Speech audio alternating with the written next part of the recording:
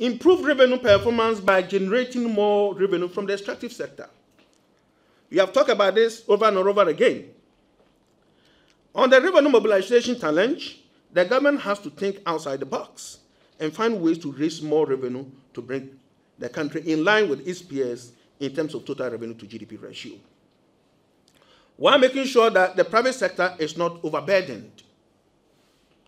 This will help create some fiscal space, improve the country's fiscal outcomes, and thus help address the degrading macro environment.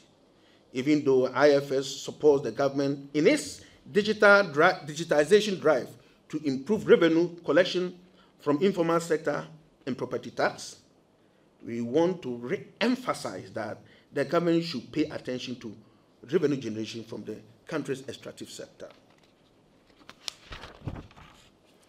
As we have stated several times, the extractive sector holds a lot of prospects in terms of revenue generation.